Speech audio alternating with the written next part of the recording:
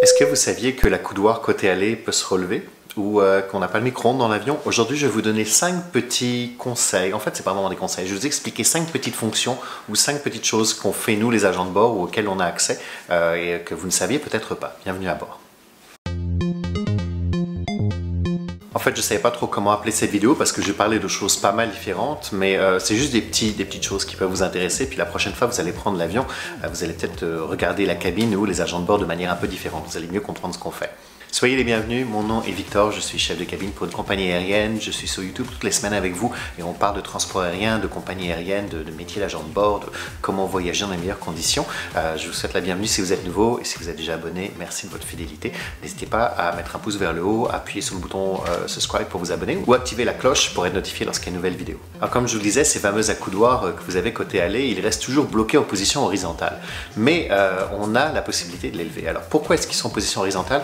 Personne m'a donné une explication très très claire. Euh, moi, ce que j'imagine, pour, euh, pour avoir quand même volé pas mal de fois, c'est que si jamais vous venez avoir des turbulences importantes euh, et que quelqu'un est debout dans l'allée, il faut qu'ils aient quelque chose pour s'agripper. Et en général, ben, comme ces, accoudoirs sont en position horizontale, ils peuvent les accrocher rapidement et s'accrocher et se tenir à ça. C'est peut-être pas la raison officielle, c'est ce que j'imagine, et euh, je me dirais que bah, si jamais je suis dans l'allée et qu'il y a une turbulence, je vais essayer de m'y accrocher moi-même. Euh, alors, mais par contre, ces accoudoirs peuvent se lever. Euh, on a la possibilité de le faire, beaucoup de passagers ne le savent pas. on l'utilise de temps en temps, essentiellement lorsqu'on doit aider quelqu'un qui est à mobilité réduite ou qui est paralysé ou qui a vraiment des problèmes pour se déplacer, pour s'installer. et là, je parle de la classe économie. certaines personnes ne peuvent pas se mettre debout devant leur siège et ensuite s'asseoir parce qu'il falloir se glisser entre les deux sièges. Donc euh, on va lever la coudoir et ils vont se mettre de côté, ils vont s'assier, donc mettre leurs jambes dans l'allée et ensuite pivoter. Si c'est quelqu'un qui est en fauteuil roulant et euh, qui euh, vraiment est immobile quasiment, ben, on a des systèmes pour les faire glisser sur le siège avec un système de, de tablette en plastique. On va donc les aider à glisser directement sur le siège. Tous les accoudoirs doivent être baissés pour le roulage, le décollage et l'atterrissage. Tout simplement, c'est une raison de sécurité. Du moins, c'est la règle qu'on a ici dans notre pays. Euh, c'est parce que euh, dans ces périodes, c'est là où on est le plus euh, prône à avoir des turbulences ou des changements rapides d'altitude.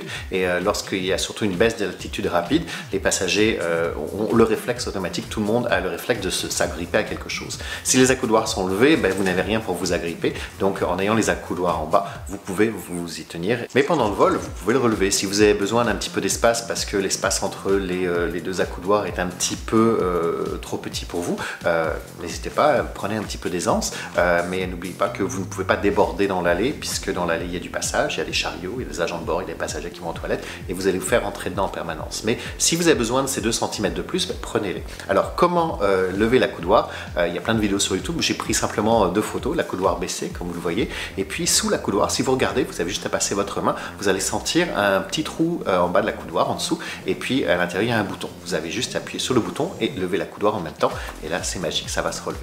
A noter que si vous êtes assis sur la première rangée, en général issues de secours ou en face d'une partition, et que dans votre accoudoir se trouve soit la tablette ou la télévision, le moniteur, dans ce cas-là, votre accoudoir ne peut pas se relever puisque bien sûr il y a la tablette ou le moniteur à l'intérieur. Donc euh, ces sièges-là ont en général un espace, beaucoup d'espace pour les jambes, mais un espace de siège qui est un petit peu plus restreint. Deuxième chose que vous ne saviez peut-être pas, il y a des trappes de secours qui sont souvent cachées dans le plafond. Alors qui va dans le plafond, vous allez me dire euh, Eh bien, euh, sur certains avions, les, les, postes de repos se trouvent dans le, cargo, dans la soute. C'est le cas souvent avec Airbus, mais chez Boeing, il se trouve dans le plafond. Et donc, ben, si jamais on devait évacuer du poste repos parce qu'il y a un incident et que notre porte d'entrée principale était, bloquée, il faut qu'on ait un moyen d'évacuer. Donc, moi, je vole sur le Boeing Dreamliner, le 787. il y a deux postes de repos il y en a un pour l'équipage technique, donc, euh, qui se trouve à l'avant de l'avion. Ils ont une issue euh, de secours dans le plafond de la cabine. Et euh, nous, à l'arrière, on, peut être jusqu'à 6 à l'intérieur. Et donc, ben, on a deux issues de secours. Il y en a une qui va se trouver au-dessus du galet. Donc, j'ai pris une photo. Voici ces espèces de carrés que vous avez dans le plafond. Donc, ça va s'ouvrir et quelqu'un va sortir. Sinon, vous en avez une dans la cabine. Donc, si à un moment, vous voyez le plafond de la cabine s'ouvrir et vous avez des jambes qui descendent, eh bien, c'est qu'un agent de bord est en train d'essayer d'évacuer du poste de repos. Troisième petite chose, vous avez peut-être remarqué, mais les toilettes sont toujours bloquées pour le décollage et l'atterrissage. Euh, bah, c'est simplement pour des raisons de sécurité. On va toujours s'assurer que personne ne soit dans les toilettes pour ces moments du vol, parce qu'on doit être assis, attaché avec une ceinture, et il n'y a pas de ceinture dans les toilettes.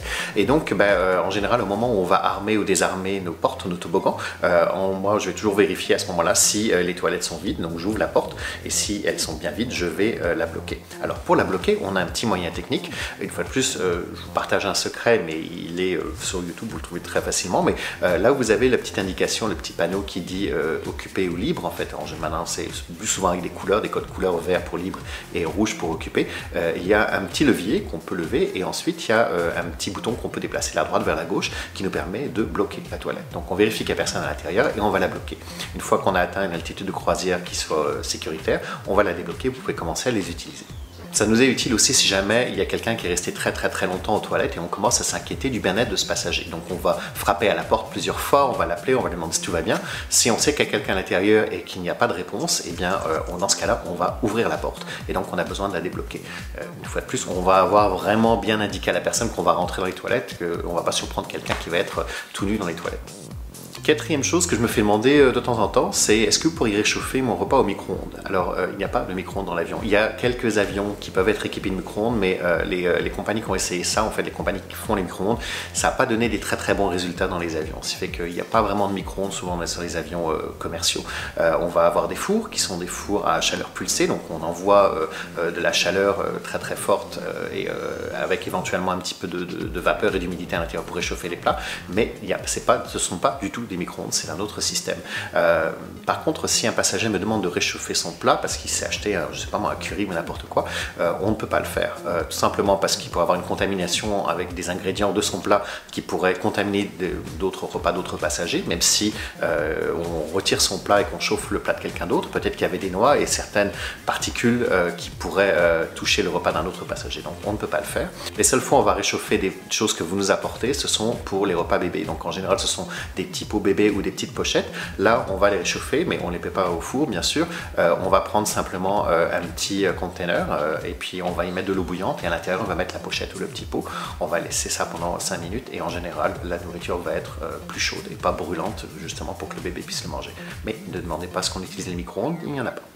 Et puis, euh, dernier point, et là c'est spécifique au type d'appareil que je vole, donc euh, je vous l'ai dit, je vole sur le 787 Dreamliner, et euh, les fenêtres ne sont pas des fenêtres avec des caches hublots.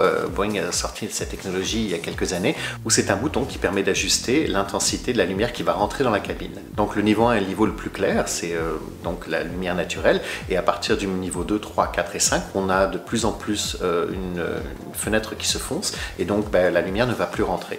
Au niveau 5, c'est la lumière ne rentre plus du tout, donc c'est comme si les cachets bleus étaient baissés, mais la différence, c'est que vous pouvez quand même voir à travers, donc vous voyez quand même l'extérieur.